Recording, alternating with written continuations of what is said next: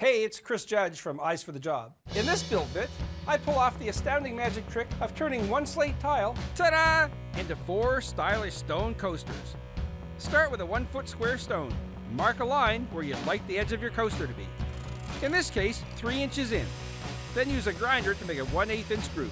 Next, lay the slate on a little wooden dowel lined up with the groove we cut. Put a little weight on the tile and snap! It breaks along the groove. Now we can divide this piece into four coasters. Just like before, mark, grind, snap. Wash, rinse, repeat. Three breaks and you have four squares. That's it. You can also add traction to the bottoms with some adhesive, rubber, or foam. It's one DIY project that's a hit from coast to coaster.